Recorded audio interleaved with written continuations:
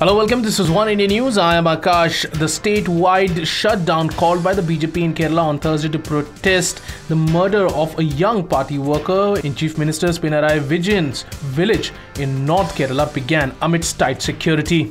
Ramit was hacked to death by an alleged group of Communist Party of India Marxist workers in front of his house, barely 500 meters away from the CM's residence.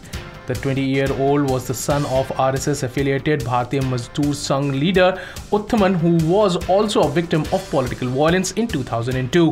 The police have registered a case against 10 people and identified the vehicle used in the crime.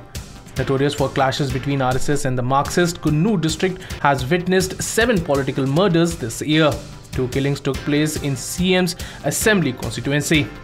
RSS leaders say that they have been targeted because of their efforts to expand their presence in the Marxist stronghold. The CPIM say its supporters are attacked because they continue to protect the Muslims.